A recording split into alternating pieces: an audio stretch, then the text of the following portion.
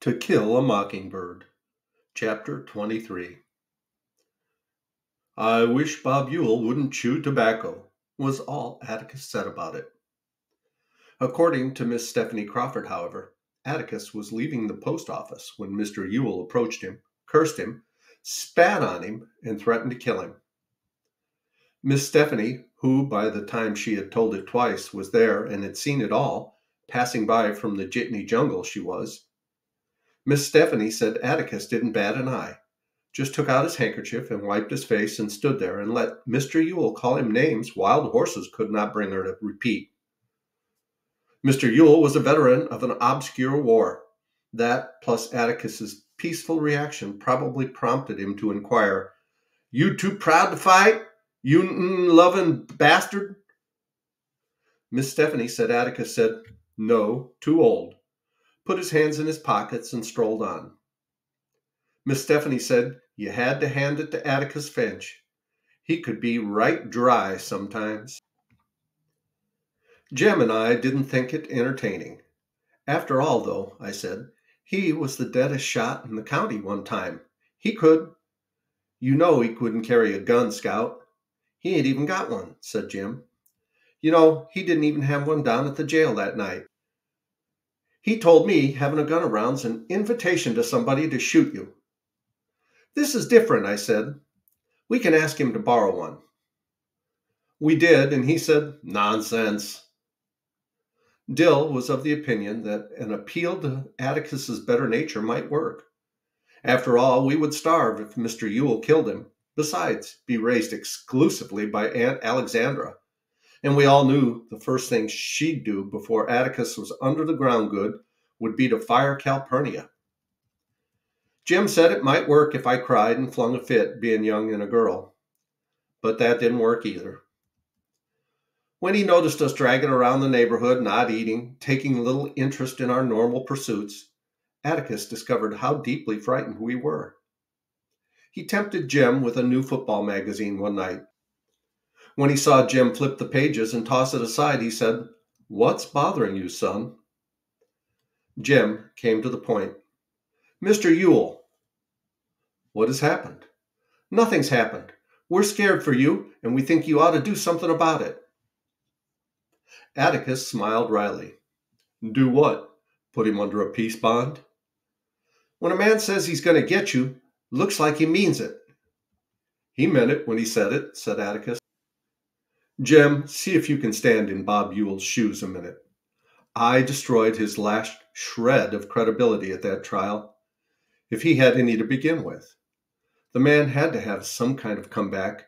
His kind always does.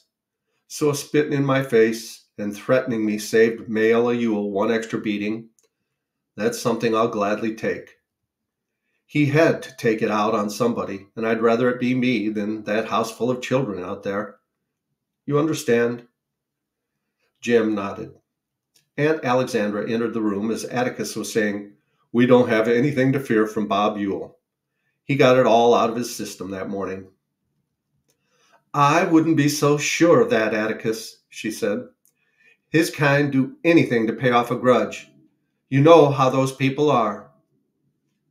What on earth could Ewell do to me, sister?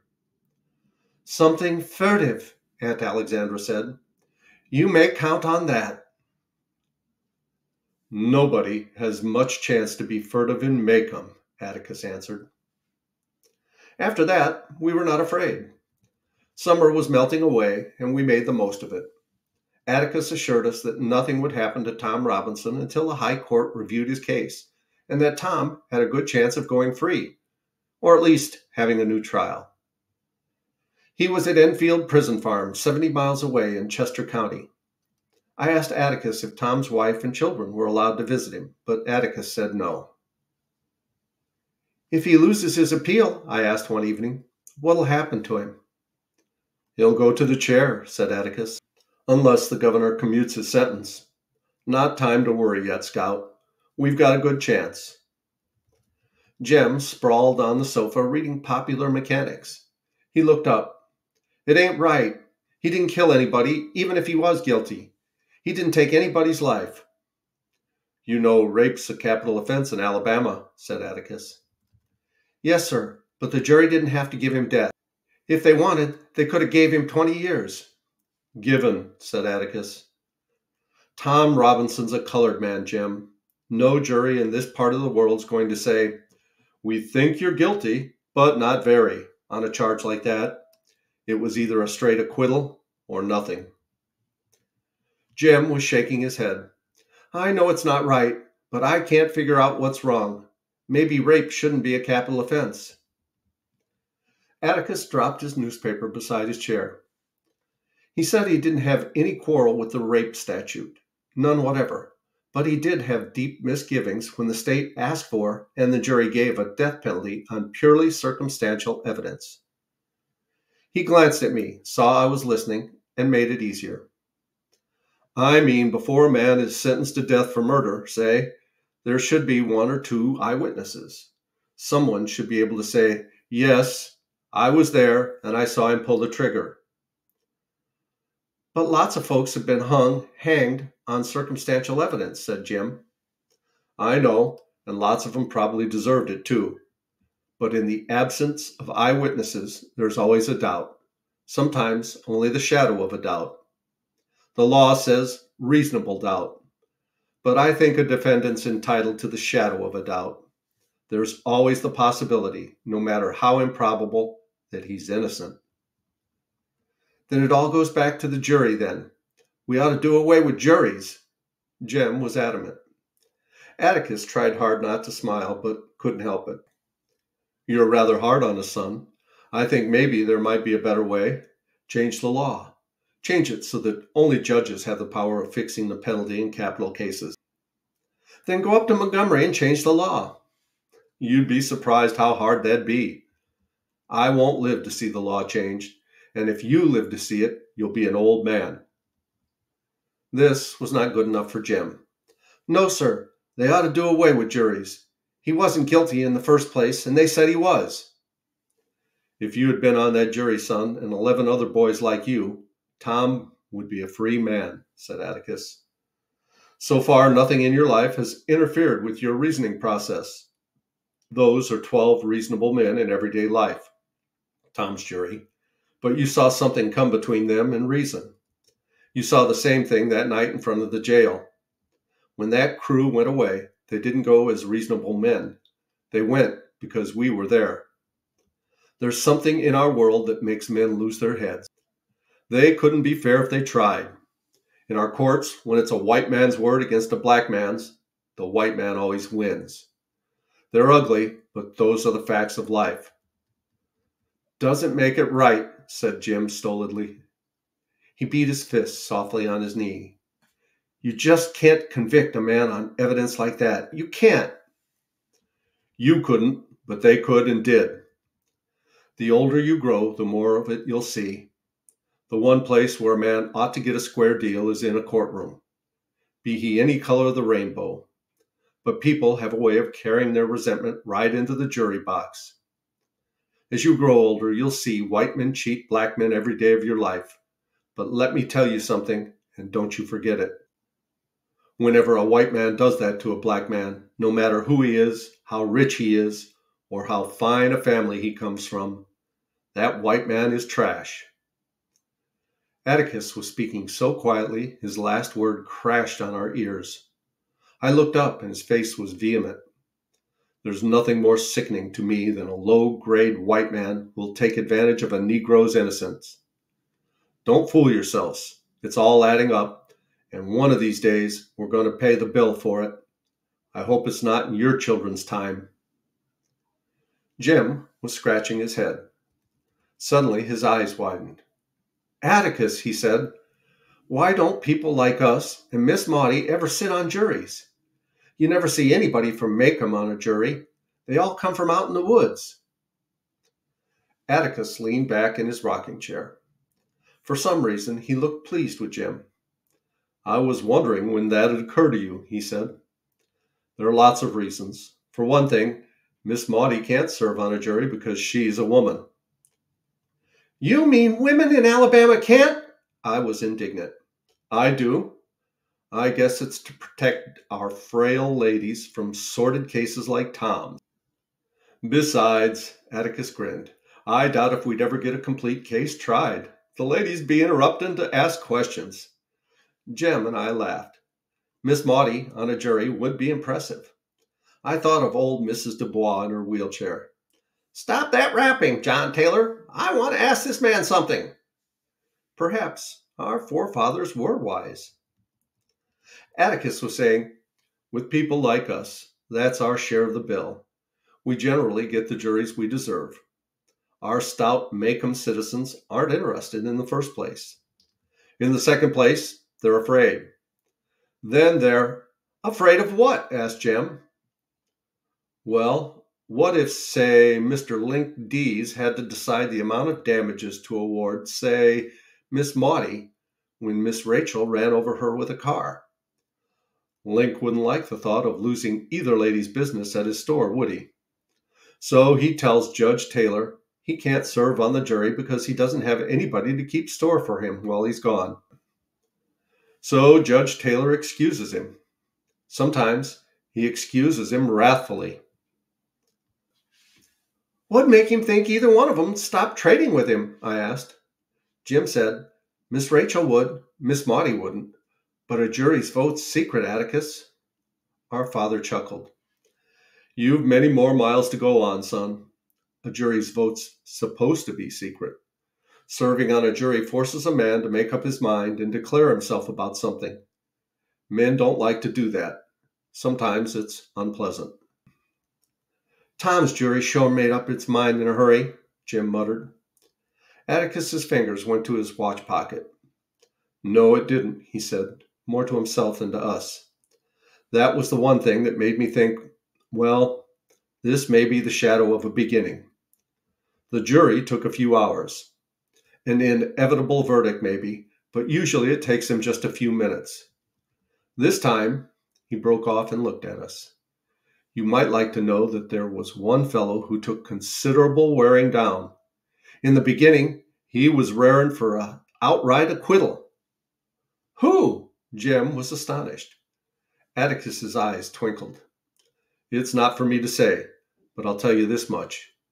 He was one of our old Sarum friends. One of the Cunninghams? Jem yelped. One of. I didn't recognize any of them. You're joking. He looked at Atticus from the corners of his eyes. One of their connections. On a hunch, I didn't strike him. Just on a hunch. Could have, but I didn't. Golly Moses, Jem said reverently. One minute they're trying to kill him, and the next they're trying to turn him loose. I never understand those folks as long as I live. Atticus said you just had to know him. He said the Cunninghams hadn't taken anything from or off of anybody since they migrated to the New World. He said the other thing about them was once you earned their respect, they were for you tooth and nail. Atticus said he had a feeling, nothing more than a suspicion, that they left the jail that night with considerable respect for the Finches. Then, too, he said, it took a thunderbolt plus another Cunningham to make one of them change his mind. If we'd had two of that crowd, we'd have had a hung jury.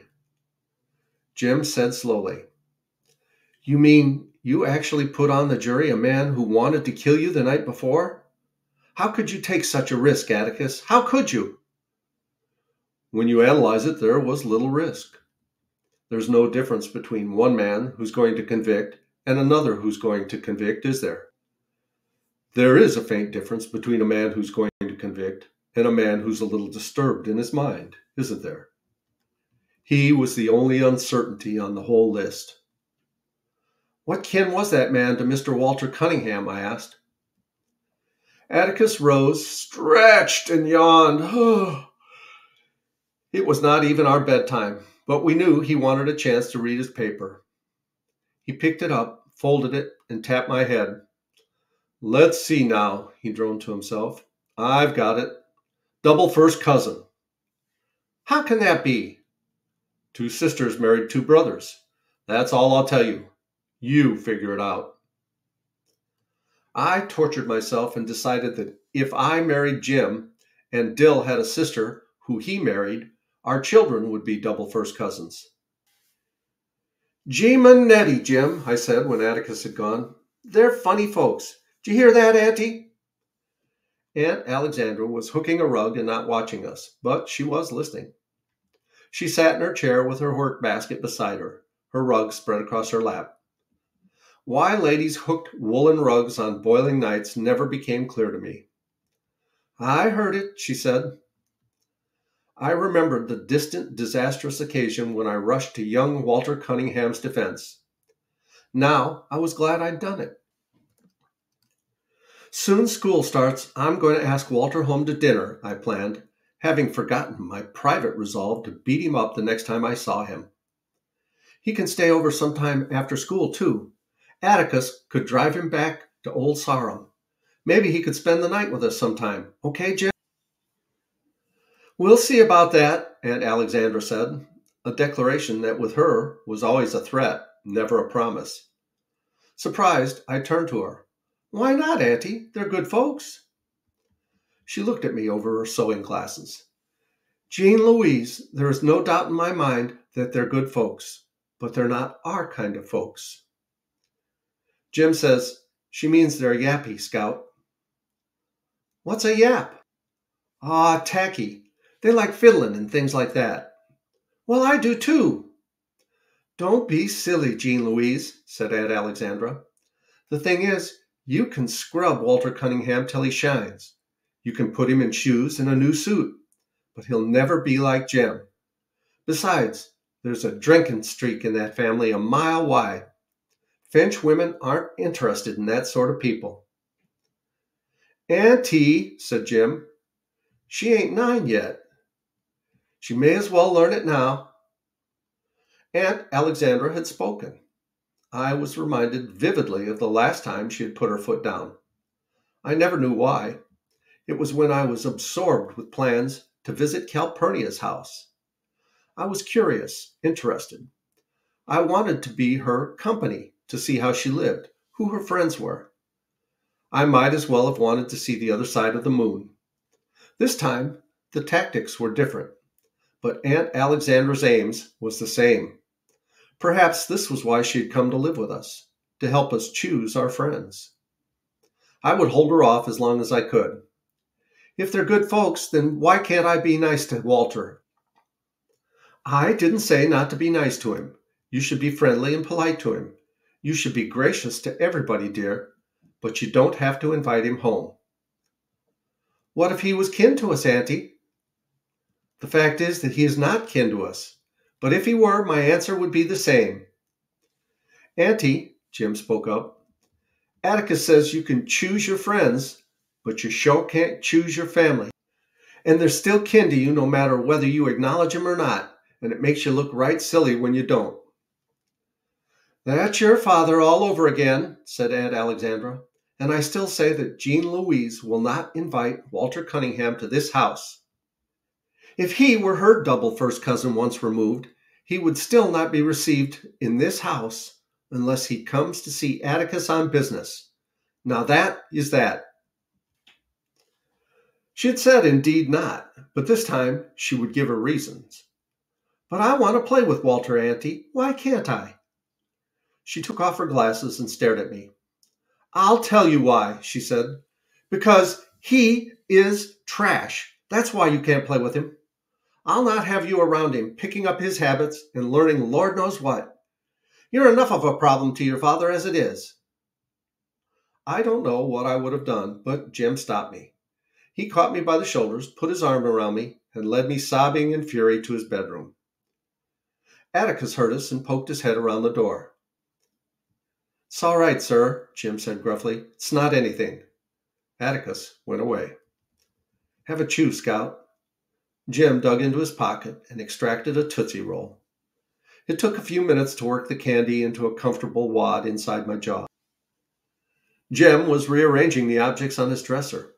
His hair stuck up behind and down in front, and I wondered if it would ever look like a man's. Maybe if he shaved it off and started over, his hair would grow back neatly in place. His eyebrows were becoming heavier, and I noticed a new slimness about his body. He was growing taller. When he looked around, he must have thought I would start crying again, for he said, Show you something if you won't tell anybody. I said, What? He unbuttoned his shirt, grinning shyly. Well, what? Well, can't you see it? Well, no. Well, it's hair. Where? There, right there. He had been a comfort to me, so I said it looked lovely, but I didn't see anything. It's really nice, Jem. Under my arms, too, he said. Going out for football next year. Scout, don't let Auntie aggravate you. It seemed only yesterday that he was telling me not to aggravate Auntie. You know she's not used to girls, said Jem. Leastways, not girls like you. She's trying to make you a lady. Can't you take up sewing or something? Hell no! She doesn't like me, that's all there is to it, and I don't care. It was her calling Walter Cunningham trash that got me going, Jem. Not what she said about me being a problem to Atticus.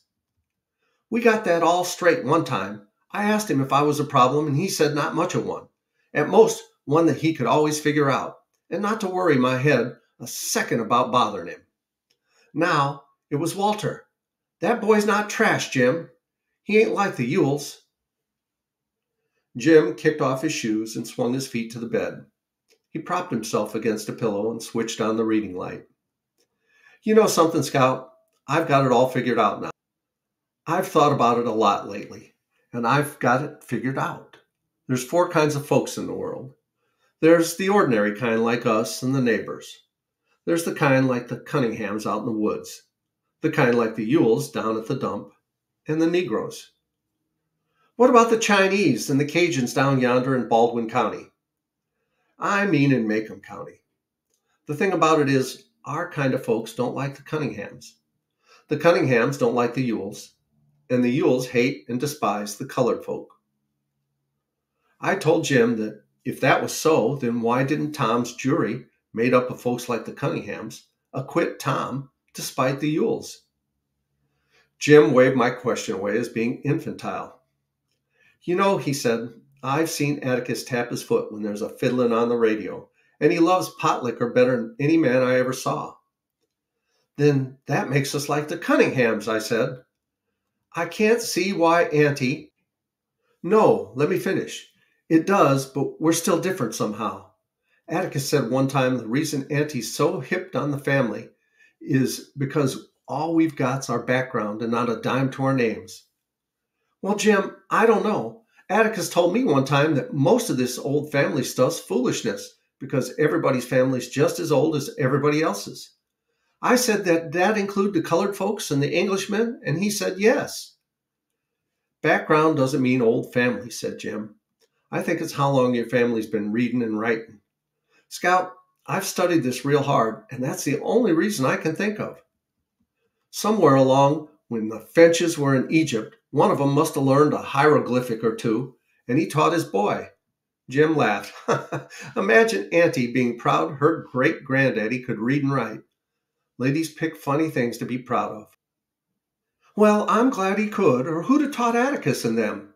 And if Atticus couldn't read, you and me'd be in a fix. I don't think that's what background is, Jem.